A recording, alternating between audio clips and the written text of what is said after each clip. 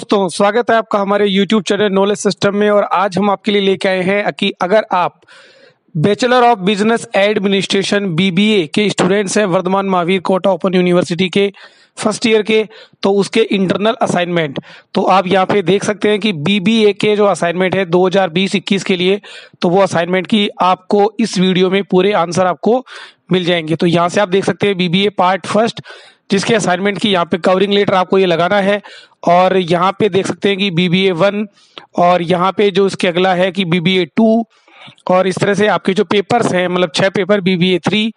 और यहाँ से आप मिलान कर सकते हैं कि आपके यही पेपर है कि अगर आप 2020 और 21 के स्टूडेंट हैं तो बीबीए फोर और यहाँ पे जो अगला पेपर है आपका BBA five fundamentals of business statics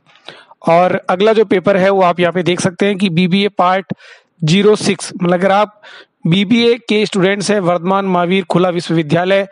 2020-21 के तो ये वीडियो आप ही के लिए है। तो आप बने रहिए तो यहाँ से आप देख सकते हैं कि पहले पेपर की तरफ़ हम आते हैं। तो यहाँ के जो कंप्लीट जो आंसर है, वो यहाँ पे देख सकते हैं कि बीबीए पार्ट फ़र्स्ट के प्रिंसिपल ऑफ़ मैनेजमेंट तो यहाँ पे इस वीडियो के अंदर आप देख सकते हैं कि सभी के जो आंसर है, वो यहाँ पे पीडीएफ के रूप में बना दिए गए हैं। टोटल आठ पेज में ये जो पीडीएफ है, ये आपको अवेलेबल हो जाएगी। और यहाँ से देख सकते हैं कि जो भी क्वेश्चन है, वो बहुत काफ़ी अच्छे तरीके से अरेंज किए हुए हैं। और कंटिन्यू यहाँ पे आप देख सकते हैं कि ये पीडीएफ बना गई है। और बीबीए टू का जो पेपर आप देख सकते हैं, जो पेपर है फंडामेंटल्स ऑफ़ अकाउंटिंग तो इसका आप यहाँ पे देख सकते हैं, सात पेज की ये जो पीडीएफ है कि इनके आप आंसर आप यहाँ पे डायरेक्ट आप यहाँ से आंसर देख सकते हैं और अपनी कॉपी में, अपनी नोटबुक में उतार के आप डिपॉजिट करवा सकते हैं। यहाँ से आप देख सकते हैं कि आपको जहाँ पे डायग्राम बनाना होता है, वो डायग्राम भी आपको बनाना रहेगा।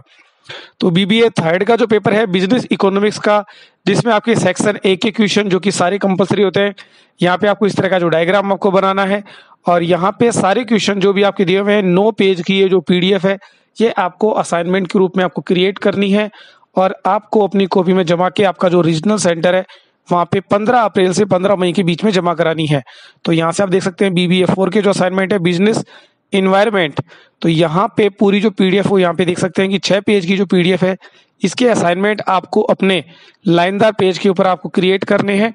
और बीबीए फाइव का जो पेपर है, वो भी आप यहाँ पे देख सकते हैं फंडामेंटल्स ऑफ़ बिज़नेस स्टेटिक्स तो इसका जो पीडीएफ है, वो आपको इंटरनेट पर आपको यहाँ से आप देख पा रहे हैं, यहाँ से इसको आप देख के अपनी असाइनमेंट में आप इसको बना सकते हैं। और ये असाइनमेंट जो है वो आपकी बुक से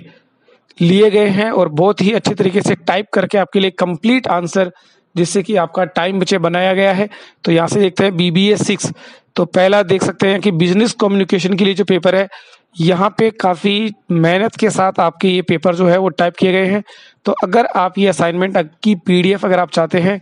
तो स्क्रीन पर दिए हुए नंबर पर आप मुझे व्हाट्सअप कर सकते हैं।